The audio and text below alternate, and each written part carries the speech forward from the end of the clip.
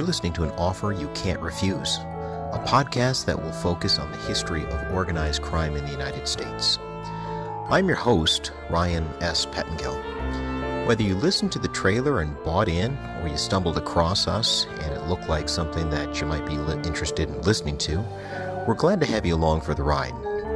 I mentioned this in the trailer, but this podcast will take an academic approach to the history of organized crime and to that end, we will situate its history within the broader context of American history. And now we're ready to get started.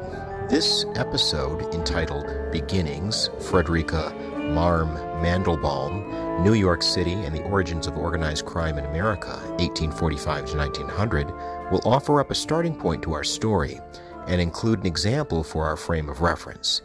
In any case, I hope you enjoy it and welcome to our maiden voyage.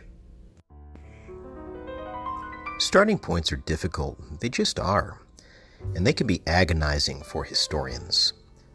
How much does the reader need to know before she or he can really understand the rest of the story that you're trying to tell? And unfortunately, this issue is not just relegated to historians. I bet you've had this experience before at some point in time. Where do you begin an important conversation that you're trying to have with someone? You know, it's not the easiest thing to decide upon. One tactic that I've used both in my classes as well as in my scholarship is to ask a question. So that's what I'm going to do now. The question that I have for you is relatively simple What is organized crime? What sets it apart from petty criminals or random acts of crime? What makes it unique? What makes it different? And that's the question that I'll come back to again and again and again throughout the course of this podcast, but also throughout the course of this episode today. I've studied organized crime for some time now, and I believe that there are four tenets of organized crime that sets it apart from other forms of crime. And I'd like to go through those tenets with you now. The first one, and I'm not trying to be funny or cute or anything, the first tenet of organized crime is organization. The acts that you carry out to pull off whatever said goal that you're trying to pull off have to be organized. They cannot be haphazard. You need coordination, you need compartmentalization, and you need hierarchy. And you'll see an example of what I'm talking about a little bit later here today. Another tenet of organized crime that sets it apart from other acts of crime would be coordination. In many instances, you will see several actors who are working together toward a shared goal. And in other instances, you will see actors who will essentially pool their various skills or talents to achieve this goal you might have someone who is really, really effective at laundering money, for example, teaming up with someone who's really, really effective uh, at cracking safes at banks. And I'm, I'm sure you can see where I'm going with respect to coordination, and you need it if organized crime is going to be effective. The next one's a big one. You need complacency. In many instances, you need people in power, whether they're politicians or law enforcement officials, to acquiesce to your will. Or if not acquiesce, then you, you, you need them to, at the very least, look the other way. And you also need rule followers to look the other way, or just, you know, uh, essentially uh, let you get away with cheating without reporting you. Um, and the last tenet of organized crime, at least in my opinion, would be not standing out. You need most of the others. to follow the rules. If everyone's breaking the law, it's going to bring too much attention from law enforcement. You also don't want to stand out in the crowd, and most of the individuals that we'll talk about uh, will figure this out pretty quickly. Less attention is better, and it's always better. And so it's these four tenets that essentially um, put organized crime apart from other forms of criminality. So now we need an example. And there's an individual that encompasses all of these tenets. Um, there's a reason that I chose her to start out with. Uh, but I'm guessing you probably wouldn't have guessed on this individual before you started listening to this podcast. Uh, before we get going, though, I want to go back to starting points. Um, starting points are, are very difficult, but you know, I think very abstractly about starting points, and there's a physicality to starting points that I like to, you know, bring up in my classes as well. And the physical location of this starting point is going to be Union Field Cemetery, which is located in Brooklyn, New York. Why Union Field Cemetery? Well, it's the final resting spot of Frederika Marm Mandelbaum. And as we're going to find out, Mandelbaum was one of the earliest pioneers of organized crime in the United States. Part of the reason that I chose to focus on her at the beginning is that she encompasses all of these tenets of organized crime. And she is an incredibly vivid and early example of organized crime in the U.S. Mandelbaum is going to be a huge player um, in, in, in, in launching organized crime and activity in the United States. But before we can really get into the finer details of her life and activity, we need to discuss the setting. In, in, in, in, the, in, in the discipline of history, context is everything. And the context of Frederika Mandelbaum happens to be New York City in the Gilded Age. It's impossible to understand the world that produced Frederika Mandelbaum without first having an understanding of the history of New York City. So let's take a deep dive into the early history of the Big Apple. For those of you that have studied American history, you can tell me that New York does not begin its life as part of the English North American Empire. Originally, it belonged to the Dutch, and these are people from Northwest Europe a country known as the Netherlands. And the modern day states of New York and New Jersey, as well as other parts of other states throughout that region, once upon a time uh, a part of the Dutch imperial network that was commonly known as New Netherlands. The capital of New Netherlands was an island off the coast of the mainland that the Dutch referred to as New Amsterdam. And I really want to impress this point upon you. It's going to be a very important point, not just for today, but for the rest of this series. Uh, New Amsterdam was a center of trade. Even before Europeans showed up in the Western Hemisphere, indigenous peoples had used it as an important center of trade because it had a world class harbor. It was easy to get into and easy to get out of, and naturally, that made it a very convenient place to do business. Now, speaking of business, that's going to be one thing that really sets the Dutch apart of the story of colonization that we, as Americans, are used to, and that's the model of colonization that is going to be based on commerce. The Dutch are going to base making money in the New World, base that on commerce, buying and selling of goods. Now, the story that most of us are used to is agriculture, whether that's tobacco farming in Virginia or small family farms throughout New England. We're used to that story primarily because the English were the dominant group of Europeans that came over and carved up North America. There's another aspect of the Dutch model that you need to be aware of because it's going to play an important role in not only this podcast, but really throughout our series as well. And that's the fact that New York City is going to become an incredibly diverse place.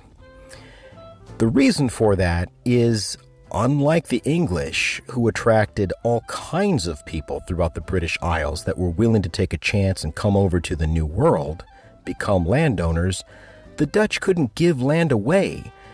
Try as they might, they could not attract settlers to come over there to the New Netherlands and set up shop. So essentially, what they're going to do is they're going to broaden their net and they're going to recruit really throughout Europe, certainly Central Europe, uh, Western Europe, but even Southern and Eastern Europe. Uh, we are going to see immigrants coming over to what we call the Dutch Empire in the New World. Many of them are going to really establish themselves in New Amsterdam, the capital of uh, the colonial network, and as a result, you're going to have a lot of different people from a lot of different walks of life living under one roof.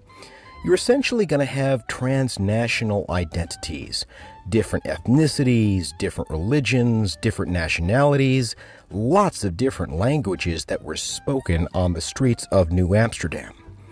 So in 1664, what's going to happen, and a lot of historians are sort of on this same page, certainly I am, it's inevitable. The English are going to take New Netherlands, including New Amsterdam. It was closing in on the Dutch. In any case, what's going to happen is the Dutch network is going to be ceded over there to the English, and the English are going to rename New Amsterdam New York City. And it's essentially going to become a part of the English North American Empire. But what the English got when they took New Amsterdam was probably the most diverse center in their North American network. Now, on any given day, Philadelphia would have something to say for that, but that's another story for another episode. The point that I'd like to impress upon you before we go any further is New York was always a center of trade from its earliest days, and it was also always a very diverse center from its earliest of days. There's a couple of connections that I really want to establish before we go much further here. And those connections involve New York City. Um, and, and there's a reason why I'm focusing so deliberately on New York, and it's not just because New York happens to be the uh, the setting for this particular episode, but you're going to find out very quickly that in so many ways, New York is the epicenter of organized crime in the United States you have to keep in mind that part of the reason for this is that New York is, was, and always has been a center of trade. It's a place where business gets done for reasons that we've already talked about. New York is, was, and always has been a city of immigrants from its earliest days before it was even part of the English Empire, let alone the United States. It was a city of immigrants. And those two connections are, are very much intertwined. Let, let me explain. One of the more important people with respect to the economic history of the United States is an immigrant in his own right, a guy by the name of Alexander Hamilton. And Hamilton, as some of you may know, is going to serve as America's first Secretary of the Treasury. Now, unlike Thomas Jefferson, who very much favored a farming based agrarian economy, Hamilton favored an industrial based economy. Like the British, what he wanted was Americans to produce goods and sell those goods all across the world and get rich in the process. But America had a problem that Britain just simply didn't have. We didn't have enough workers, we didn't have enough labor. And so, one thing Hamilton's going to do uh, when George Washington, the first president of the United States, appoints him as Secretary of the Treasury, he'll issue a collection of reports. And one report I want to focus on here is his report on manufacturers. Hamilton not only points out the benefits of an industrial based economy, he encourages the United States to go throughout Europe and recruit an army of workers, bring those immigrant workers back to the United States and plug them into the factories. And he's very clear as to why. Immigrants are cheap labor. They can get a lot of bang for their buck because many of these people are financially desperate. Some of them, um, you know, are, are fleeing and are desperate to get out of those countries. And some of them are looking for new opportunities and are willing to work for cheap. So he sees a real bargain with respect to an immigrant workforce. Now, let me give an example of how central immigrants are with respect to the development of the economy. Like I said, New York is an industrial center. It's a city of commerce, but it's also a place where products get produced. And in so many ways, you could make a case that New York was the workshop of the United States in the early history of uh, the United States. And at the same time, you're beginning to see the U.S. march westward, okay? Uh, future states like Ohio, Indiana, Michigan, their, their populations are beginning to boom. People are trying to go out west and take advantage of that cheap land. And they're, they're paying money hand over fist for their products. And New Yorkers would love nothing more than to be able to tap into those Midwestern markets and sell those people their goods at a much cheaper price. And to be clear, the Midwesterners would love to buy them at cheaper prices. The problem is we don't have a great way to get the goods out of New York and into the Midwest.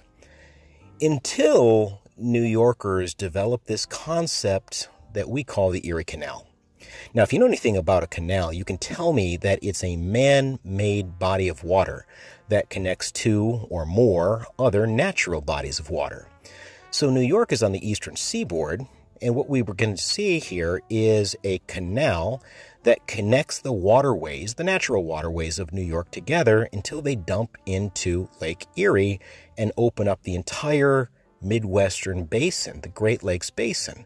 Once you hit those Great Lakes, think about all of the areas that they touch. All of a sudden, the market expands and it expands exponentially. But think about the kind of work we're asking people to do here. Uh, there's a reason why the expression digging ditches is associated with hard, backbreaking labor. I think you see where I'm going with this in 1817, we're going to see the you know construction of the Erie Canal begin, and I'm here to tell you that that, that project would not have been built had it not been for immigrant labor predominantly coming out of Ireland. Uh, we'll talk about this here in just a minute, but there are thousands and thousands of Irish that begin uh, emigrating to the United States, and it's only going to pick up throughout the course of the 1800s. And because they're willing to work for cheap, and because they're willing to accept these difficult jobs, it's going to allow for the construction of the Erie Canal, which in so many different ways is going to open up even more economic opportunities for producers that would like to sell their, their products to consumers in distant marketplaces. And speaking of those consumers, it's also going to raise the general standard of living. So, what I want you to understand here is that there has always been this continuous need for cheap labor in American economic history. And America had always attracted people seeking opportunities, sometimes out of desperation and sometimes not. But throughout American history, these newcomers have not often been treated all that well. Let me explain what I mean. As I was saying, even as important as immigrants have been to the economic development of the United States, many immigrant groups have not been treated especially well um, in American history. Uh, I'm going to give you a couple different examples here in a moment. Uh, one group I'm going to cover relatively briefly because we will go through the Irish as a group and the processes of Irish immigration later on in this podcast. The other group we're going to spend some time on, and they're going to be very central, as you'll see, with respect to this podcast. But in any case, I want to start out with the case of the Irish. Um, a little known fact about English colonization is that Ireland is one of the first places that the English are going to colonize. It's going to go all the way back into the 1500s. And England is basically going to claim the island nation that we call Ireland. And so what you're going to begin to see here is the process of English colonization, which is generally meant to extract the wealth from the colonized country and funnel that wealth back into the mother country or the colonizing country, if you follow me. So, what begins to happen is the English set up these landlords who begin to collect rents. And in some cases, those rents involve currency, like you and I would understand currency. And in other instances, it involves things like meat, uh, be it beef or uh, lamb or lamb's wool. Uh, things of that variety. That's the wealth that I'm talking about. That's all going back to London and it's making the English economy explode.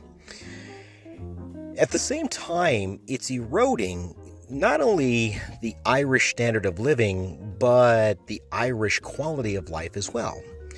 Uh, because all of that meat and other sustenance is going back to London, uh, the Irish are existing predominantly on a potato diet, right? Upwards of 90%, in some instances, 90% of the Irish diet is made up of potatoes. And beginning in the 1840s, that crop, the potato crop, is going to begin to fail. And when it does, you see widespread hunger, widespread starvation. And so, in a way, the Irish are essentially pushed out of their country because they don't have anywhere else to turn in a way, they're economic refugees, and given the booming American economy, this was a place that was hiring. So, economic opportunity is pulling the Irish in at the same time that the potato famine is pushing them out. Now, when the Irish get here, they're treated as second class citizens. And part of the reason for this, on the one hand, the English referred to the Irish as an inferior race. And I understand that that might be a little bit difficult for us as Americans to kind of conceptualize, but the English very much referred to the Irish as not only a race, but an inferior race. And because the United States had really been influenced by Great Britain and, in a way, shared a similar culture, we inherited a lot of these anti Irish bigotries. But one of the biggest anti Irish bigotries uh, perpetrated by whether the, the United States or Great Britain uh, was an anti Catholic bias, an anti Catholic bigotry. Ireland was a great Catholic nation, and these Irish immigrants were coming into a nation that really was defining itself as a Protestant nation. A nation that kind of looked at itself and said, you can't really be a good American unless you happen to be Protestant. If you're Catholic, then maybe your first allegiance is not to the Constitution, maybe it's to the papacy in Rome, okay? So it wouldn't have been anything out of the ordinary at all to see a sign hanging in a shopkeeper's window, help wanted, Irish need not apply. Worse uh, was the process of Irish ghettoization. If you were to go to New York today and visit the Fashion District, uh, a very posh center in New York City, uh, it would be kind of hard to imagine that once upon a time that was one of the toughest neighborhoods in all of the city. It was referred to as Hell's Kitchen. Poverty was pervasive, crime was uh, very widespread, and it was home to the Irish district. And the reason it was home was it was really the only place that the Irish were allowed to exist in the city. Okay? You'll see this with other immigrant groups, uh, one that's coming up, and you'll also see it in other cities as well. So the Irish were a huge source of essential labor throughout the 19th century. Uh, had they not come over in the numbers that they did, you wouldn't have railroads or infrastructure. Uh, many Irish were used in the infantry during the Civil War, and that's to say nothing of the hundreds of thousands of Irish that uh, made up the factory populations in America's cities. But for our purposes, the case involving the Germans is going to be even more central for today's uh, session.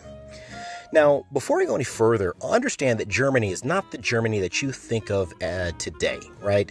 Uh, really, since the fall of the Roman Empire, uh, Germany is made up of not only little miniature kingdoms, but kingdoms that really thought of themselves as independent from one another. And for much of European history, from the fall of Rome right up through the 19th century, these kingdoms are going to go to war with one another. Germany was not only not unified, in, in, in ways it was exploited by other European countries, especially the French. And really, it's not going to be until the early 19th century when the German peoples understand that Napoleon Bonaparte of France uh, represents a far bigger threat than these other Germanic kingdoms do. It's it's only going to be then that the German peoples begin to think of this concept of German unity. Okay, uh, but here's the problem nationalism can, can be a good thing. It can unite people and bring people together, as it did for the Germans fighting a common enemy. It also has a darker side. It puts people to thinking, you know, what exactly is it that makes someone German? Okay? Uh, what kind of food does a German eat? Uh, what kind of dialect of German, as in the language, does a good German speak? And, you know, maybe most centrally of all, what kind of religion does a good German practice? Keep in mind, we are talking about the land of Luther, and similar to the United States, uh, a lot of German people are, are defining German nationalism along religious uh, uh, religious lines. So, if you happen to be a German Catholic, and there was a significant uh, amount of the population who were, uh, you're looked upon suspiciously. You're looked upon as someone who might not be as loyal, uh, as dutiful of a German as you could be. The other group that is really looked upon suspiciously would be the German Jews. And very quickly, after German Germany becomes unified, and you begin to see the Germany that we think of today, you begin to see anti-Semitic laws that are going into practice, laws that prevent Jews from going into certain professions, laws that prevent Jews from owning property, laws that make it more and more difficult just to exist on a day to day basis. And similar to the potato famine in Ireland, it's pushing people out. You've got state sanctioned second class citizenry in Germany.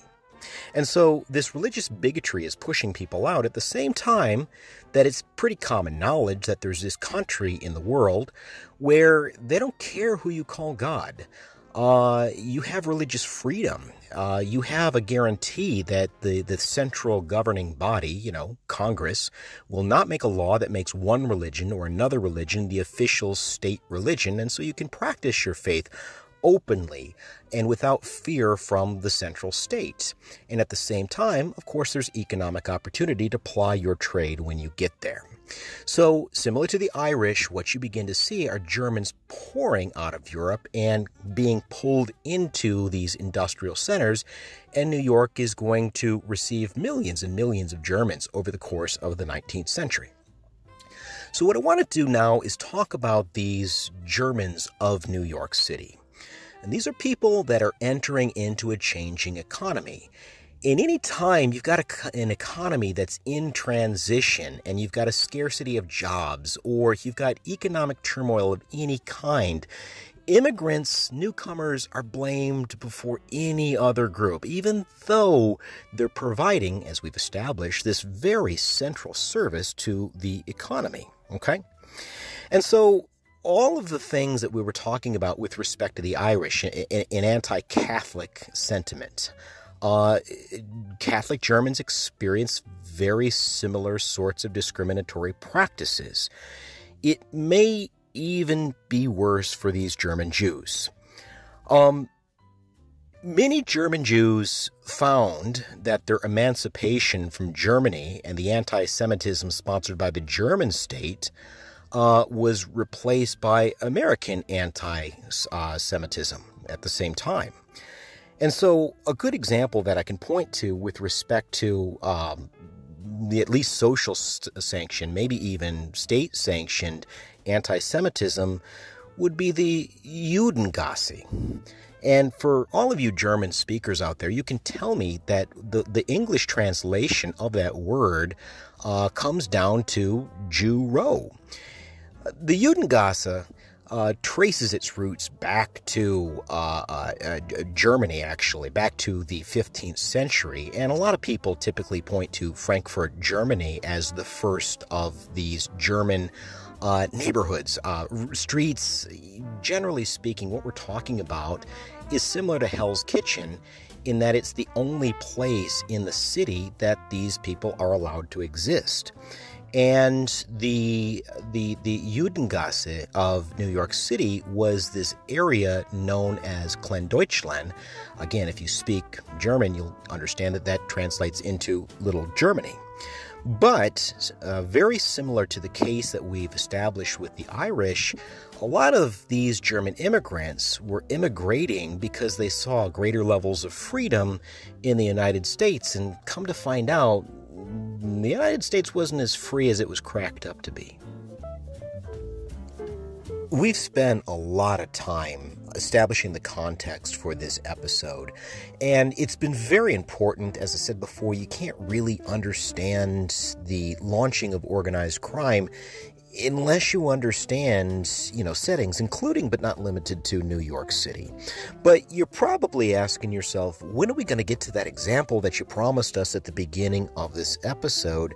And that's where we're headed right now.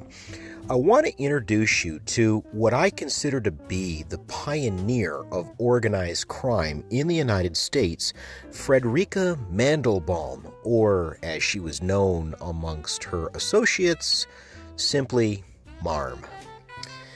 The Mandelbaums, as in Frederika and her husband, were some of these German Jews that we were talking about just a minute or so ago.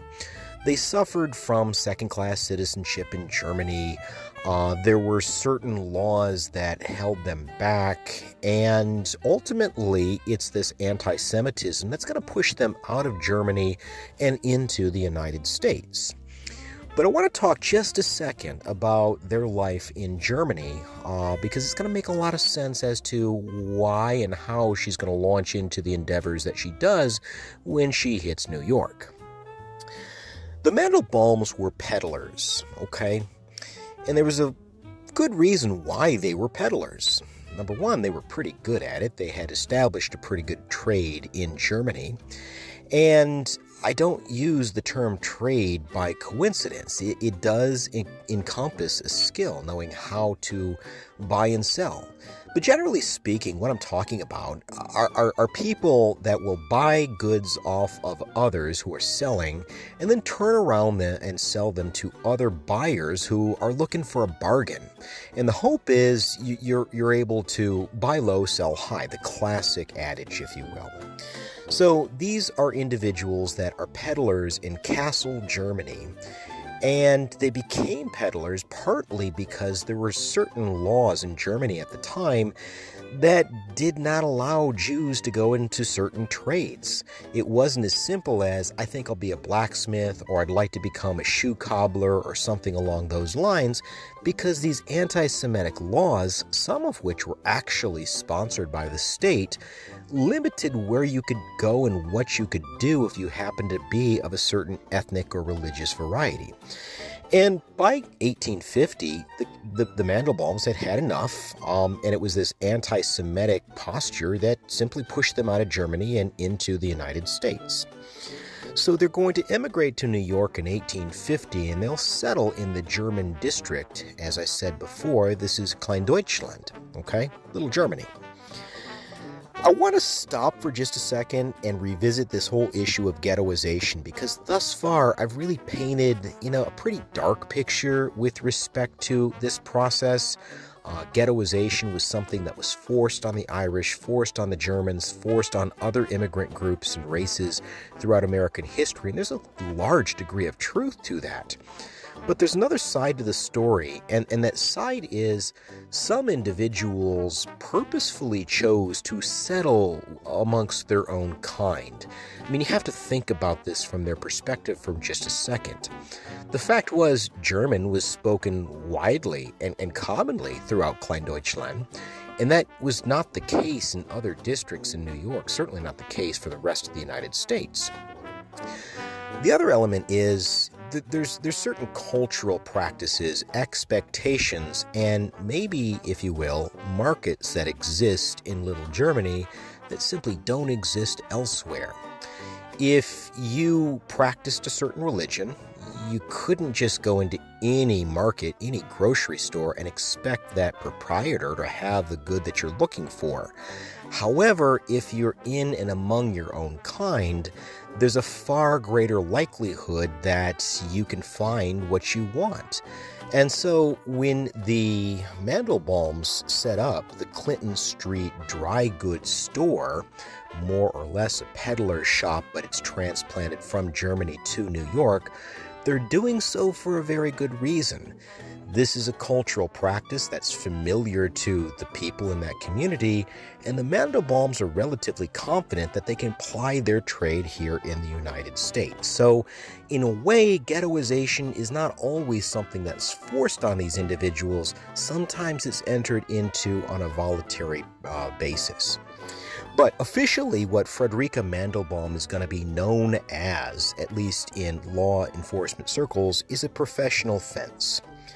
What is a fence, you ask? Well, today the best example that I would have for you would be a, an owner of a pawn shop.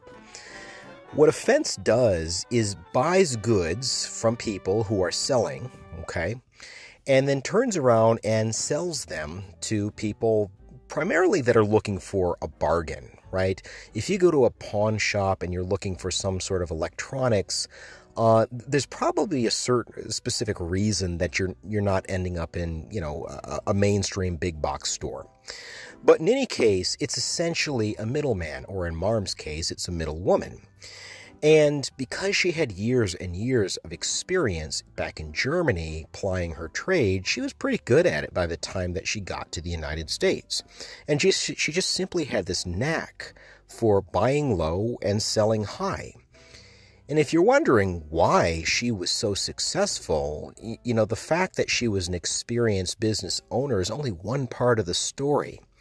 The other part of it is the people that she's serving felt very, very comfortable with her.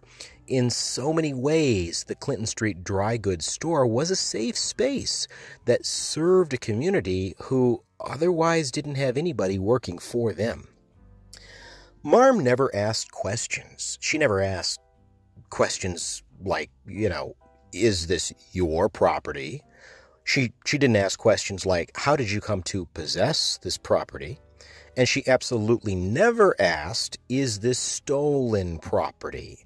She just simply asked, How much would you like for whatever good it was that the individual was selling? And so she was going to become the first stop for low income New Yorkers who were destitute. They knew that Marm was a safe person to go to, her store was a safe place to operate, and if in the case of emergencies, you could go there and peddle something, you could go there and sell it. And so some of these New Yorkers are selling their own property to make ends meet, some are selling stolen property. It didn't matter to Marm either way. She wasn't really interested in where this property came from. She was only interested in a good deal. But either way you want to look at this, the root cause is poverty. The root cause is inequality part of the reason that I spent so much time talking about the processes of immigration and the people who were coming were working in low income jobs and were economic refugees in, in, in many instances, that is going to transfer over into their lives in the United States. Poverty is going to be very much a part of the immigrant experience uh, throughout the, the, the mid 19th century And that's just going to be the reality of the situation for many, many people. The other aspect to this conversation is there really isn't anybody working for these individuals. It's a long, long time before we're going to see the establishment of an American welfare state. Eh, what I'm driving at here is there's really nobody that is an advocate for the working class immigrant population. And in a way, people like Marm are are the heroes. They're the, the the last stop that people have to really sort of save themselves. So you have to understand, amongst her own kind and amongst her own neighbors, she's really seen as a very good person. Okay. Now, there's a reason that I settled on Frederika Mandelbaum, and it has nothing to do or little to do with the fact that she was a good peddler, good fence that may be an illegal activity and it may not, depending on what circumstance you're talking about. One of the biggest reasons that I focus on Mandelbaum is she's one of the earliest pioneers to organize crime. Let me explain.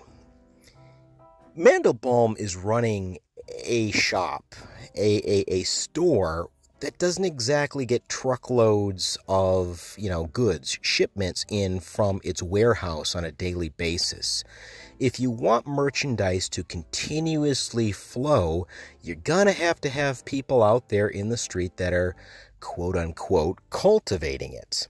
And so, what Mandelbaum's going to do in pretty short order is she's going to develop a network of pickpockets, and these individuals are going to provide a steady, steady stream of merchandise. Stolen merchandise, but that's another story for another time. Now, for buyers, what this meant was an alternative to these huge industrialists, robber barons they're called in, in, in the mid 19th century, a huge grip on the market. And in so many ways, they, they were monopolists. Uh, they were operating in a way that stifled competition. And the fact was, Marm was offering a an alternative and a low cost alternative to what otherwise would have been monopolistic uh, practices. But this network of pickpockets is ultimately going to, to, to, to lead to more business for MARM. And I look at that as an early form of organizing crime. For the time being, I'd like to talk, go back to this whole issue of nowhere else to turn. The mid 19th century is is is usually referred to um, as the Gilded Age.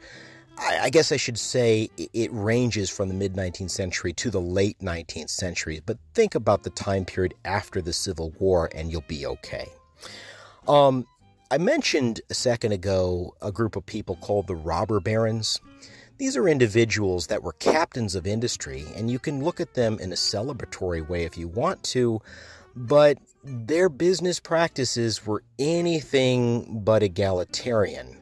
Uh, they ran their business as they saw fit, and one of the reasons for this is a process that historians and economists refer to as laissez faire capitalism. The idea being there would be little, if any, regulation of the marketplace, and ultimately, what this is going to do is it's going to allow these big producers like Carnegie Steel or Standard Oil to become huge and stamp out competition from anybody else, giving Standard Oil basically a monopoly on the market. Well, you go back and you ask yourself who serves the needs of these lowly city dwellers? Who's actually out there looking out for their best interests?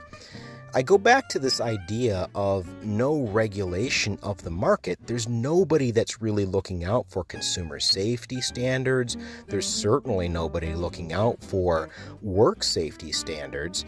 And so, in a time period where a lot of these captains of industry are referred to as robber barons and more or less the villains of the American economy, someone like Frederika Marm Mandelbaum is really looked upon as a hero, or heroine in her case. The other individuals that I'd like you to keep an eye on, because we'll come back to these people again and again, are ward bosses. And what these people are, are operators of political machines. What's a political machine, you ask? Well, generally speaking, I like to look at this as a relationship between the voter and the politician. I, the politician, promise you a favor, and in return for that favor, you give me your vote. And so, if you're someone like Frederika Mandelbaum and you want to operate your dry goods store, in some cases that involves a license. In other cases, that involves the police maybe conveniently not being around your shop or not investigating your shop at specific times during the month, week, year, what have you. So, We've established the idea that Frederika Mandelbaum has organized crime. Now I'd like to go ahead and talk a little bit more about her coordination of crime. By now, you can probably see why I chose Marm as an example of a pioneer of the early history of organized crime by bringing together these pickpockets who were largely unorganized and you know existed in a very random and haphazard manner by bringing them all together and getting them to work together essentially what she provided herself and her business was a supply chain. It was a steady stream of merchandise being brought in which didn't exactly exist before she brought that level of organization. And as I said from the beginning, organization is one of the key tenets of organized crime. It's what sets it apart from other forms of criminal activity. I also mentioned that coordination was a very important tenet of organized crime, and Marm was a master of coordinating with other individuals who brought special skills and skill sets that she simply didn't uh, didn't didn't have. And so I want to talk to you a little bit about how Marm is going to diversify her criminal activity in the aftermath of setting up this uh, dry goods store. One of the things that she branches into in the aftermath of her dry goods store getting up and running is financing bank robberies. And again, to do this, you're going to need a lot of people that are working together for a shared goal, and a lot of people are going to bring specific skills to this uh, to this table. And so, what Marm is going to do is she's going to finance individuals like George Leslie, who has this really, really good ability to crack codes that safes are going to use to lock up money in banks. In 1878, she's going to be involved in the Manhattan Savings Bank robbery, which was one of the more famous bank robberies in the history of New York. And she's going to be at the top with respect to providing the startup money and other resources that got other individuals similar to George Leslie involved in this. And it's going to be highly, highly effective. Later on, she's going to branch out and get involved in uh, the blackmailing game. She would employ confidence women. And if you're wondering what a confidence woman was, it was an individual who got a prominent person, usually a man, but not always, got a prominent person into a very compromised situation. If you have an individual who has some information that they wouldn't exactly like out there on the street for just anybody to know, uh, they're probably willing to pay a pretty hefty sum to keep that on the down low. And so, if you can get some of these women to get uh, a prominent businessman or a prominent city official into a compromised situation, that's a pretty effective way of bringing in some extra money. So, again, you've got individuals who are separate from one another, but each of them bring a skill set to the table and they're working in concert with one another. Over the course of time, what is going to come into formation is what historians refer to as Marm's chicks. Now, these were individuals that were considerably younger than she was, hence the term chicks, as in baby chickens. And these are individuals that are essentially going to be in her employ and under her direction at the same time. You had people like Queen Liz or Big Mary Wallace, who were professional pickpockets that were working to continue that supply chain that we were talking about a second ago. You had individuals like Sophie Lyons, who was one of the more effective confidence women that was in the employ of Marm. You had Adam Worth, who, as you're going to find out, was sort of a up from your bootstraps individual that eventually is going to become one of the more effective bank robbers under Marm's guidance. You have George Leslie, who we've already mentioned, but he's an individual with an uncanny ability to crack the codes of safes. Collectively, this group is referred to as Marm's Chicks because ultimately they are her employees, and with her direction, she is going to employ this group of employees to effectively have a hand in, in, in many different criminal activities all at the same time. But one of the things that's probably the most impressive about Marm's ability to coordinate with other people is her vision to see the big picture and to play the long game. Eventually, she is going to establish the Grand Street School for Pickpockets. Essentially, what this is, is a training ground for the next generation of criminals of New York, all of whom are going to be under the guidance and direction of Mandelbaum. I can't say how impressive this was. It's it's really really incredible the way that she was able to pull this off. In a way, it almost functions similar to a baseball team's farm club. And I say club because it was multi-layered. At the A level, you had individuals that would learn how to become effective pickpockets. People from the street that were petty thieves that had heard one thing or another about Marm, she would bring these people in and explain to them how they could be even more effective in their ability to pick the pockets of New Yorkers on a day to day basis. And if you showed a little bit of promise in pickpocketing school, maybe they would bring you up to the double A club. And in the double A classes, what you'd get would be classes involving burglary or safe cracking, things of that variety. So you're essentially grad- graduating to higher stakes games within the world of uh, uh, criminality. Ultimately, you would be graduating to the AAA club. You can think of this almost like a doctoral class.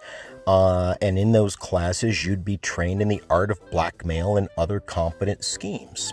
And so it's a multi levered, tiered uh, program that MARM is using to essentially not only coordinate, but also to develop the criminal talents of individuals who are showing promise on the streets of New York. Before we go on, let me give you a quick example. Uh, the bank robber that I mentioned a minute ago, Adam Worth, is really going to get his start as a pickpocket. And because Marm saw some promise and some potential in that individual, she's going to use him to recruit other pickpockets. But over the course of time, and certainly under the guidance of Mandelbaum, he's going to quote unquote graduate, and it's not going to be long before he's putting schemes together with George Leslie to knock off banks. And so Marm also represents a really important tenet of organized crime, and that's the ability to be able to work with other individuals who has skill sets that she didn't necessarily have, but in the big picture made her organization a far more effective criminal organization. If you're keeping track, Marm is very clearly at the top of her class when it comes to those tenets of organized crime that we were talking about at the beginning of this episode. Organization, very clearly pulling an A. Coordination, probably an A plus. And as you're about to find out, she very much is a force to be reckoned with when it comes to getting those in positions of power to acquiesce and look the other way as she's doing her bidding. But for this to make any sense, you have to understand that police work and policing is not really the modern version that we think of it as today. It's something that is going to evolve. It's a profession that's going to evolve over the course of at least 100 years.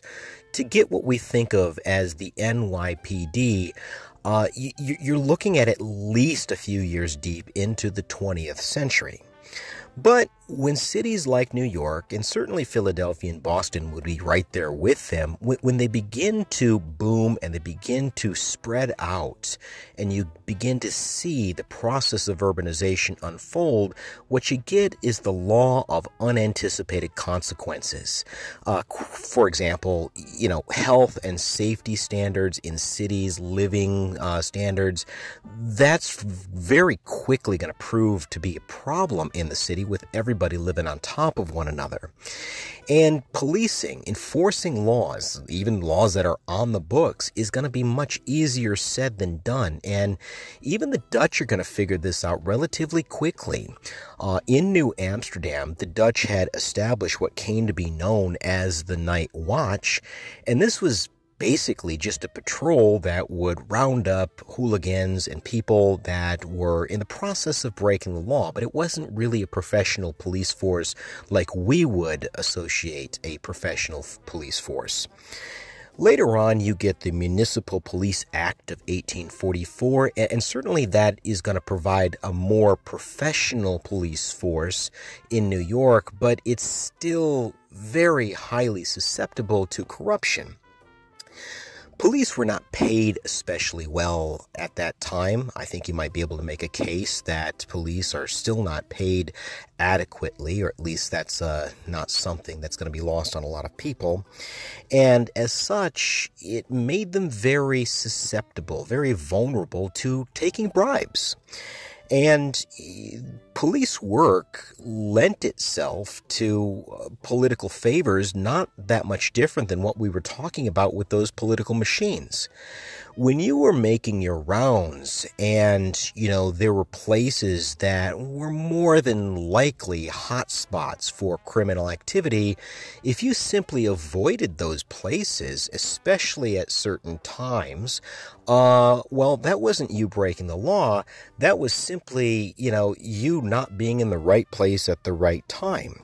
And so when you get visionaries like Marm that begin to understand that by paying police and by identifying those police officers who might be most receptive to a bribe, you can operate more or less unrestricted and even out in the open as long as you're paying off the right people and as long as you're getting these police officials to be in the right place at the right time. So let me give you a quick example. The 8th Ward Thieves Exchange was located at the corner of Broadway and Houston in New York. And what this was, was a, think of it sort of like a criminal market. It was a place where people brought merchandise, most of which was stolen, uh, and they dickered and they dealed. Uh, it changed hands. Sometimes it changed hands several times. And every once in a while, there would be raids and people would be arrested for it. But Marm was never one of these people, and there's a very good reason as to why. She always knew which hands needed to have that $100 handshake, and miraculously, when Marm was conducting business at the Thieves Exchange, there wasn't a cop, there wasn't a police officer in sight. And this is really going to put Marm ahead of her time with respect to how she understands the world of crime. In a way, it's it's a commodity. Crime is a commodity to be bartered. You can pay people for their services and you can employ the services of other people. And police officers happen to be one of those groups that Marm employed over the course of her criminal career. And she was very effective at it. That leaves one last category, one last tenant uh, with respect to effective uh, success in organized crime. And as I said before, that's not standing out. And I think initially, if you want to think of it as the first half of the semester, right, Marm's clearly getting an A. She uses a lot of discretion. She is not very flamboyant in terms of her actions, and she knows what people need to look the other way and what people are okay. But over the course of time, word got out. And when I say word got out, the media begins to pick up on how successful this woman happened to be. The New York World was one of the oldest newspapers in New York City, and it had identified Marm as a criminal mastermind. As a matter of fact, and I'm quoting it here, it proclaimed that, quote, she was the greatest crime promoter of all time end quote. The person who, quote, put crime in America on a syndicated basis, end quote. And, quote, nucleus and center of the whole organization of crime in New York City, end quote. What's worse is that Marm's name had gotten out across the country. In 1871, Chicago is going to experience one of the worst disasters in its history. It's going to have a fire, the Great Chicago Fire, that's going to more or less levy the city. Um, what you're going to see is people running into buildings, people trying to salvage whatever they're able to salvage, and sometimes these are the owners of homes and dwellings, and sometimes they're not. If you've ever seen that film, Gangs of New York, with Leonardo DiCaprio, um, you'll have an understanding as to what I'm talking about. When there's the fire, he's rushing into somebody else's home and they're just picking up whatever valuables that they possibly can come across and they're selling them on the black market. And that was happening in Chicago as well, but these individuals are finding their way back to New York and they're selling them to Mandelbaum. Now, it was a good place to to sell your products, but it was also a really great place to buy products at the same time. On average, word had gotten out that she was offering wholesale prices for things that you couldn't find on every street corner.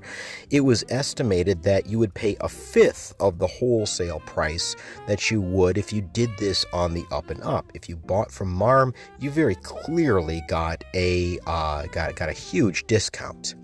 Now, the fact that she's becoming a household name and she is in the media and she's more or less a national figure, it's not lost on Mandelbaum. And she had devised ways to kind of cover her tracks.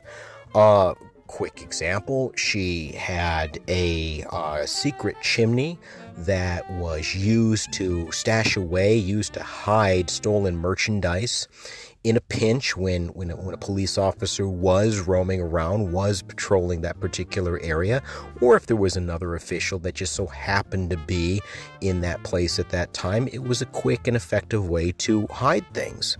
She also employed a team of engravers to doctor up jewelry so that it couldn't be as recognized if, in case someone ever reported it to the police and they came by her stop um, cab drivers for quick getaways, expensive legal defense attorneys, including the famous attorney Big Bill Howell of uh, Howell and Hummel.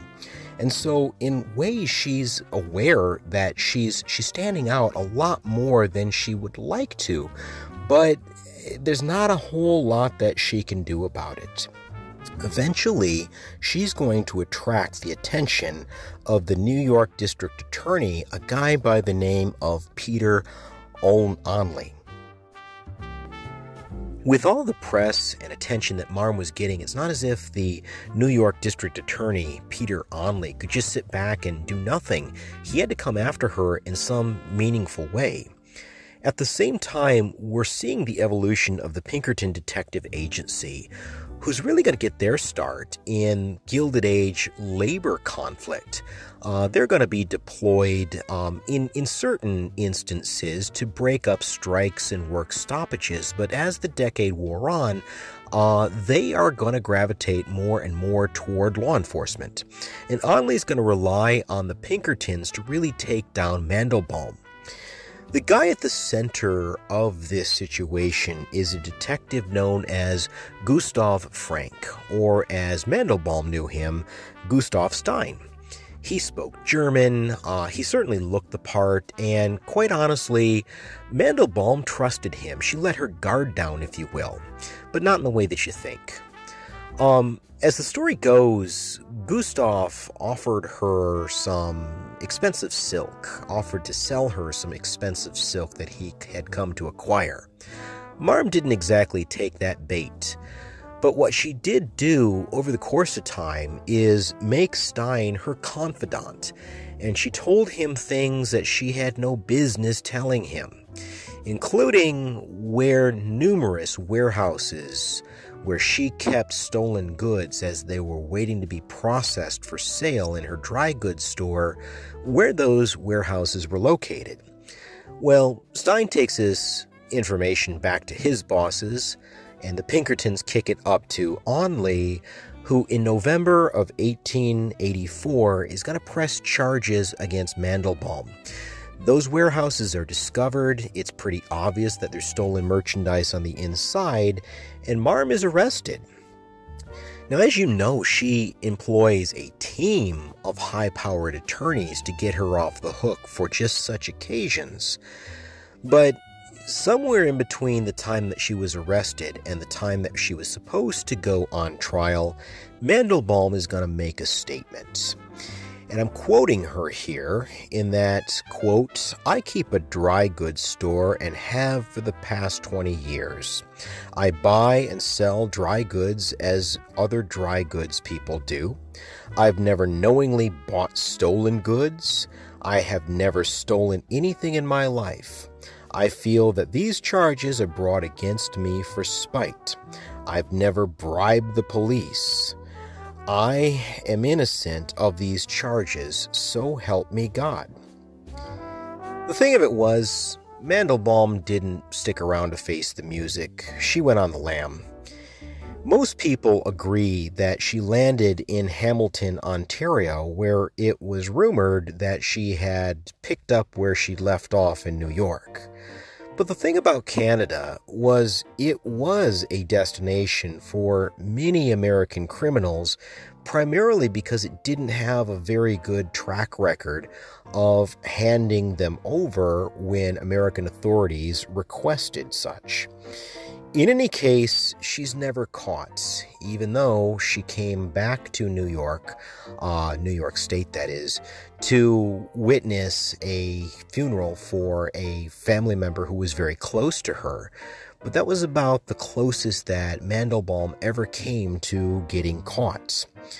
In any case, it's a relatively unceremonious ending to an otherwise stellar criminal career in the history of organized crime.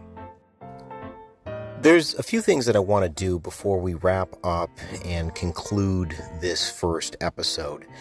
And they involve not only tying some things together uh, for this episode, but it, think of it sort of as a launching pad for future episodes to come.